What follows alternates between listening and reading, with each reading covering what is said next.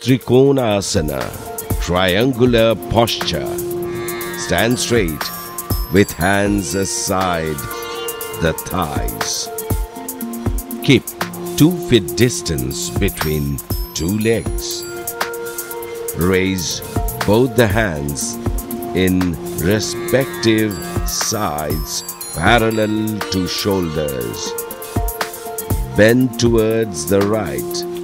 Slowly bring the right hand down till your right ankle without bending the elbow.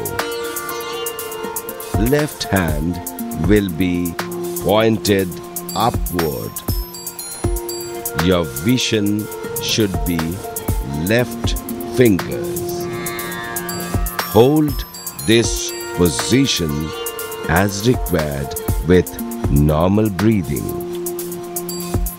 Then come back to the original position and repeat the same with left hand.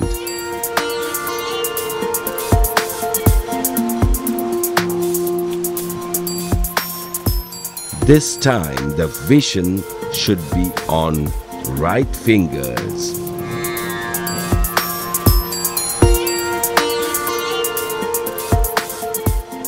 Then take rest in Shavasana.